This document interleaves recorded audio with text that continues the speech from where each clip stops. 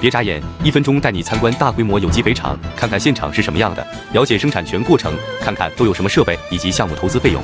现在看到的是一套年产五万吨有机肥生产线，每年生产两万吨颗粒肥、三万吨粉状肥，主要原料以鸡粪、猪粪、牛羊粪、菌渣、秸秆等。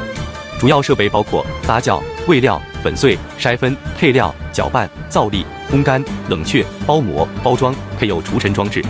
为了提升产能，这条产线采用两种造粒方式，在转鼓造粒机后面增加了一台圆盘造粒机。因为是两条产线，所以配有两台筛分机、两台粉碎机、两台包装机。如果您近期正在考察项目，备注年产规模，点赞评论八八八，我来给你出详细配置方案及报价，供您参考。